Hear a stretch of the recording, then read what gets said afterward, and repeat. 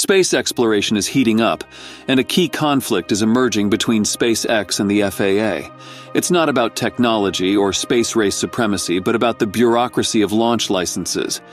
Recently, after weeks of waiting on permits, SpaceX has had enough. They're turning to Congress, urging them to push the FAA to speed up the license issuance process. If successful, this could put significant pressure on the FAA. Let's break this down further. But before we do, don't forget to hit the subscribe button for more updates on Starship and other space news. Here's the drama SpaceX feels like its programs are fighting for the FAA's attention. They fear that their ambitious Starship program, which plays a key role in NASA's Artemis mission to the moon, might face delays because of these holdups. SpaceX has launched over 70 rockets this year alone, roughly once every four days, setting a pace that's not just groundbreaking but also challenging to keep up with. As impressive as this frequency is, the company's concerns lie elsewhere. Beyond the impressive launches, the Falcon 9 and Dragon programs are also contending with FAA delays. While SpaceX values the FAA's role, the prevalent sentiment is that the regulatory body needs to become more adaptive. The underlying tension isn't just about rapid launches or novel spacecrafts. SpaceX's vice president conveyed his apprehension regarding the FAA's sluggish pace, especially in the wake of rapid advancements in the private sector. Starship has already tasted the bitterness of this regulatory hurdle its orbital launch test earlier this year was cut short after the massive rocket experienced malfunctions, leading to its deliberate destruction. The aftermath wasn't just a damaged rocket and launch pad, but also mandated an FAA investigation that culminated in SpaceX being tasked with 63 corrective actions. The aftershocks of this event still resonate, with environmental groups filing lawsuits concerned about the repercussions of such tests. Though SpaceX claims to have fulfilled all required actions, the road ahead for Starship remains bumpy. An FAA statement indicated a potential conclusion of their safety review by October's end. However, an added wrinkle has surfaced in the form of an environmental review involving the U.S. Fish and Wildlife Service, potentially pushing the timeline further. This delay might be at the heart of Musk's evident agitation. In a recent Twitter post, he drew attention to the stark contrast between SpaceX's rapid advancements and the seemingly slow response from the U.S. Fish and Wildlife officials regarding the review after the Starship launch in April.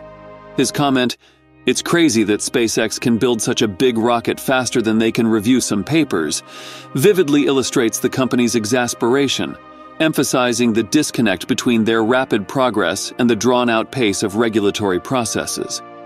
SpaceX's main complaint is about how long it takes to get launch licenses.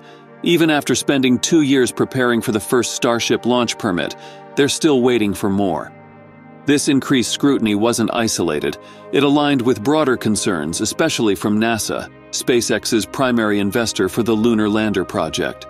NASA expressed growing apprehension over whether the lunar lander variant of SpaceX's Starship would be prepared in time for the scheduled Artemis 3 mission in late 2025.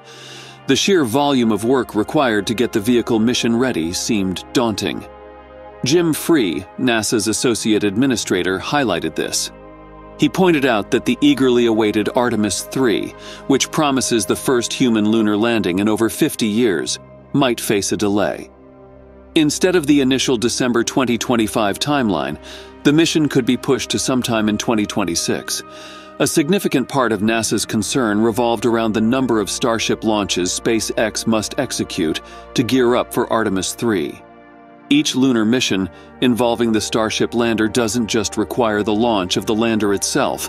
Multiple tanker starships are also needed to refuel the lander in Earth's orbit before it embarks on its journey to the moon.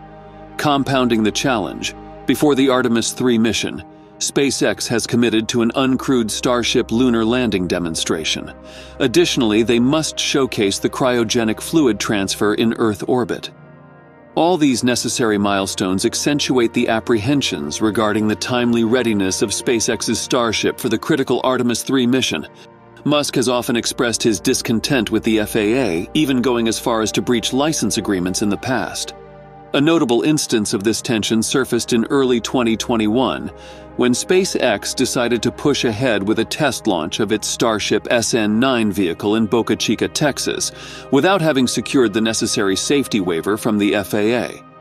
When the vehicle exploded upon landing, it attracted considerable media attention and subsequently brought about swift regulatory scrutiny. The FAA immediately initiated an investigation into the unauthorized launch. For SpaceX, there were direct consequences. The FAA required SpaceX to halt Starship test flights until the investigation was complete and imposed stricter oversight on subsequent test flights. This meant additional reviews, longer wait times, and increased scrutiny for SpaceX's subsequent launches. Furthermore, the incident prompted the FAA to take a closer look at SpaceX's safety culture. You might be wondering why is the delay of Starship a big deal? Well, the world is watching. As SpaceX faces these hiccups, space programs in countries like China are gaining momentum. The stakes are high for the U.S. to maintain its leadership in space exploration.